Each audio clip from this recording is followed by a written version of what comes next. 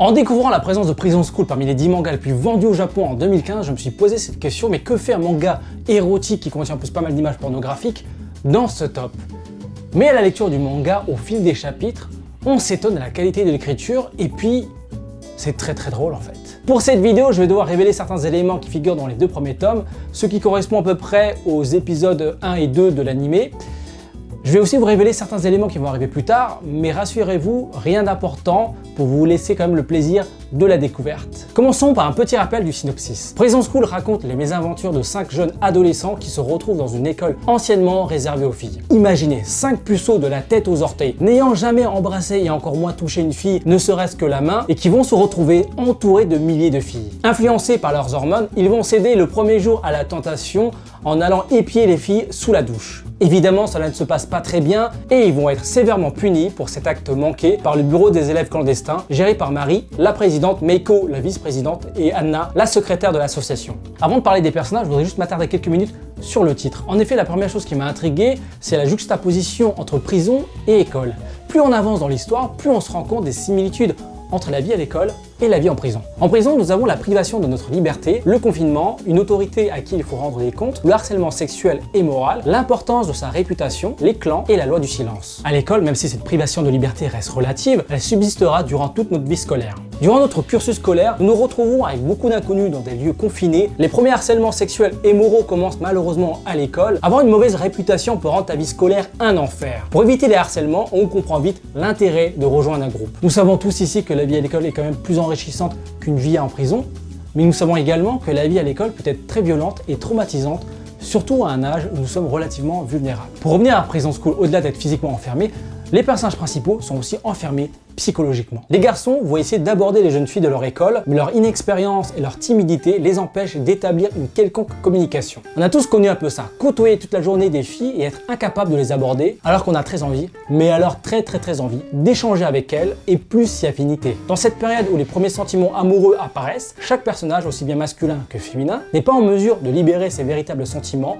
par pudeur, par fierté ou par peur du rejet on peut dire d'une certaine manière que la vie d'un adolescent ou d'une adolescente est un peu comme une Cette thématique de la prison va être présente tout au long de l'œuvre, alors qu'on pourrait s'attendre à une certaine redondance comme dans la série Prison Break, l'auteur arrive à nous surprendre en créant des situations dans lesquelles certains personnages vont être constamment emprisonnés, soit physiquement, soit moralement, à travers les mensonges qui s'accumulent et qui ne peuvent pas être révélés. J'ai lu que l'auteur s'était inspiré du film Cool and Luke, Luc la main froide en français. On suit les aventures de Luc qui se voit enfermé dans une prison après avoir détruit des parcs-mètres. Durant son internement, il finit par se rebeller contre l'autorité des gardiens qui pratiquent l'humiliation jour après jour. On retrouve son inspiration dans le côté groupe de copains qui se serrent les coudes, dans les travaux forcés éreintants, les gardes qui scrutent vigoureusement tous leurs moindres gestes et le côté frustrant d'être prisonnier quand on aperçoit une belle jeune femme. Dans Prison School, à la place des gardiens, nous avons des gardiennes qui ne sont que des adolescentes, même si ces dernières vont recourir à la maltraitance et à l'humiliation, mais la présence de ces dernières va donner lieu à des scènes très sexy, voire parfois pornographiques,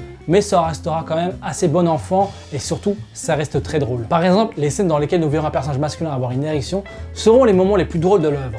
On va pas se le cacher, la présence des personnages féminins contribue beaucoup au succès du manga, surtout auprès des adolescents. Par contre, les plus âgés d'entre nous suivront le manga plus pour le côté humour. Bien que le manga commence à apparaître en 2011, j'ai l'impression que l'auteur n'a fait que survoler l'histoire et la caractérisation des personnages en présence, même si certains ont eu le droit à quelques développements. Pour moi, pour l'instant, il n'y a que 5 personnages qui sortent du lot. En cinquième place, je pense à Gacto.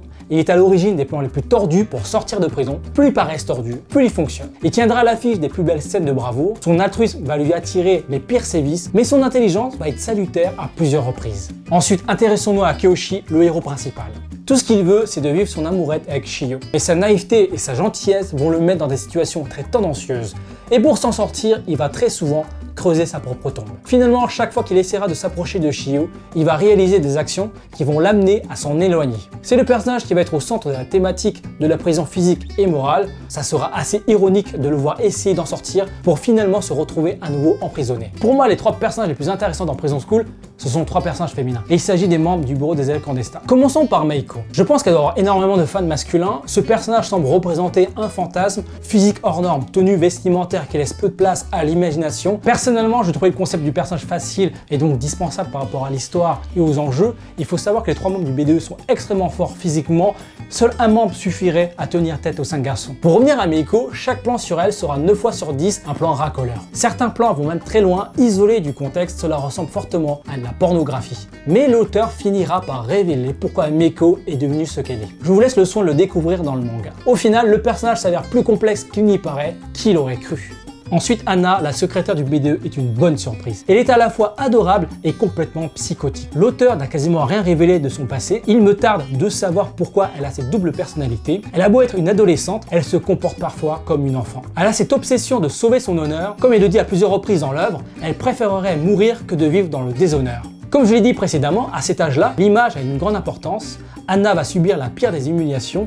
On finit par ressentir un peu d'empathie pour elle alors qu'elle passe une partie de son temps à violenter les garçons. Un second rôle qui prend de plus en plus de place dans Prison School. De tous les personnages du manga, celui que je préfère de loin, c'est Marie, la présidente du BDE. Vous allez peut-être commencer par la détester, d'une part parce qu'elle est détestable, c'est la fille du directeur de l'école, du coup elle va pouvoir abuser de sa position pour faire ce qu'elle veut des prisonniers, puis c'est la grande sœur de Shio, elle voit d'un très mauvais œil le fait que Kyoshi et elle se soient rapprochés, mais il y aura plus tard une explication de son mépris envers la jante masculine, et là, tout prendra sens. De plus, elle sera plus tard au centre d'une intrigue qui va la montrer sous un autre jour. Derrière cette froideur apparente se cache une jeune fille plutôt attachante et qui sait protéger les siens. Il y a deux autres personnages assez intéressants, mais pour l'instant, ils sont en roue libre. Alors, je parle du directeur de l'école et d'André, le colosse masochiste qui fait partie des prisonniers. Ces deux personnages ne sont là que pour créer des situations ou des dialogues comiques. Par exemple, le directeur de l'école ne s'intéresse qu'au cul, et sa psychologie s'arrête là. C'est un peu une bête de foire que l'auteur va prendre un malin plaisir à mettre en scène. Quant à Shingo et Joe, les deux derniers prisonniers, ils sont reliés au rang de figurants. L'auteur ne les met pas assez en avant, la faute à Kyoshi et aux membres du BDE qui prennent toute la place. Parmi les reproches que je pourrais formuler, c'est l'obsession qu'a l'auteur pour l'urine et une certaine pratique sexuelle. Les personnages dans Prison School ne vont pas utiliser l'urine comme une pratique sexuelle, mais la façon dont l'auteur va mettre cela en scène laisse sous-entendre la pratique sexuelle en question. Cette obsession va revenir à plusieurs reprises et ça finira par être un peu lourd. Enfin, même s'il fait partie de mes personnages préférés, le traitement que subit Meiko finit par lasser. Cela va être de pire en pire, plus on avance dans l'histoire, plus l'auteur l'a réduit en poupée gonflable, alors que paradoxalement, il avait réussi à lui donner une histoire intéressante. J'en profite pour déplorer encore une fois la banalisation des agressions sexuelles dans les mangas.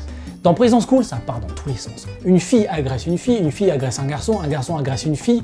Même si c'est justifié pour faire avancer l'histoire, une agression sexuelle reste une agression sexuelle et la banaliser ne va pas arranger les choses. À part cela, je vous conseille chaudement la lecture du manga ou le visionnage de l'animé. Vous allez peut-être pas me croire, mais ici il s'agit d'adolescents qui cherchent à vivre leurs premières histoires d'amour. Même s'ils ont accès à des images pornographiques, ces adolescents tiennent une grande importance à donner leur premier baiser à une personne qu'ils aiment. Ah et c'est très romantique un adolescent en fait. Et toi, dis-moi en commentaire qu'est-ce que tu as pensé du manga? Et quels sont tes personnages préférés? Pour soutenir mon travail et si tu veux voir d'autres vidéos de ce genre, mets un pouce bleu. Et si c'est pas encore fait, abonne-toi à ma chaîne pour ne pas rater mes prochaines vidéos. Si tu veux voir d'autres avis sur d'autres mangas, clique sur cette playlist. Sinon, j'ai aussi une playlist consacrée aux films.